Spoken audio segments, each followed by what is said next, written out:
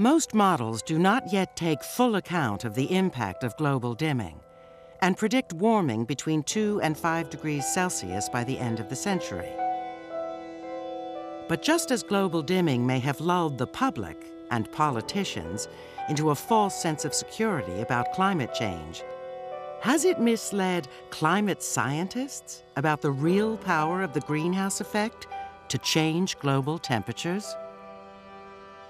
Peter Cox, a leading climate modeler, has come up with a controversial new analysis based on the observed warming of the last century. If scientists have underestimated the cooling effects of global dimming in the past, he believes they may also be underestimating the heating effects of global warming in the future. We've got two competing effects, really, that we've got the greenhouse effect, which has tended to warm up the climate, but then we've got this other effect that's much stronger than we thought, which is a cooling effect that comes from particles in the atmosphere. And they're competing with one another. And we know the climate's moved to a warmer state by about 0.6 of a degree over the last 100 years. So the whole thing's moved this way if it turns out that the cooling is stronger than we thought, then the warming also is a lot stronger than we thought. And that means the climate's more sensitive to carbon dioxide than we originally thought. And it means our models may be undersensitive to carbon dioxide. While today's models foresee a maximum warming of 5 degrees Celsius by the end of the century, Cox thinks that it is not beyond the realms of possibility that by 2100, temperatures could rise by as much as 10 degrees Celsius, 18 degrees Fahrenheit.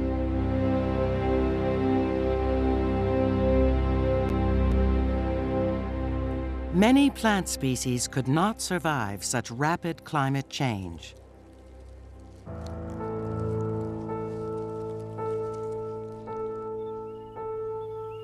In his scenario, trees would die all over the planet the world's best agricultural land would be struck by drought and soil erosion. Famine would not be far behind.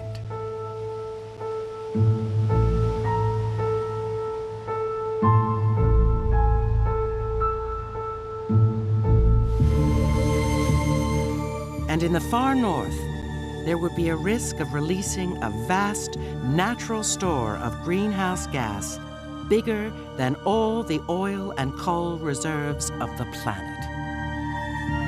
We will be in danger of destabilizing these things called methane hydrates, which store a lot of methane at the bottom of the ocean in a kind of frozen form.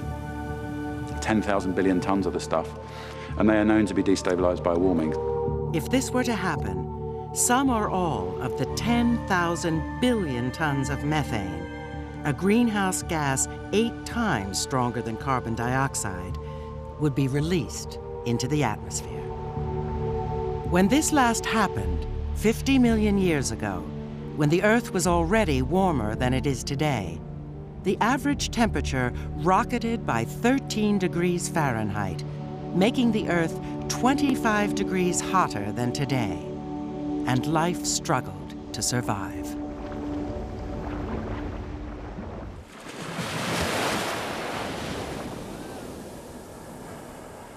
Some scientists consider this model extreme, but all climate models contain important unknowns and ranges of possibility. Our new understanding of global dimming has complicated the task of forecasting the future, but has also brought the probability of dangerous climate change much closer. Today, there's a strong scientific consensus that without urgent action to reduce our burning of coal, oil, and gas, we risk creating a world very different from the one which has been so hospitable to humanity.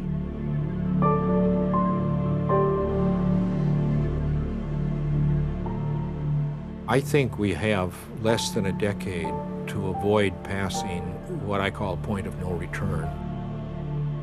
I think we have to keep global warming less than one degree Celsius or we're going to get um, very bad effects. And the problem is that to achieve To keep the warming less than one degree Celsius, we have to level off the emissions and get them to decline before the middle of the century substantially. Right now, the course that we're on is plus 2% per year in greenhouse gas emissions. Well, if you continue that even for 15 years, it's a 35% increase, and then there's no way that you can possibly meet this alternative scenario with warming less than one degree Celsius. One of the real driving forces is that you leave an environment uh, that is comfortable for your children. And if we carry on going the way we're going, we're not going to do that. We're going to leave an environment that's much worse than the environment we lived in, and it will be down to what we did while we were using that environment. And that would be um, tragic, really, if that happened.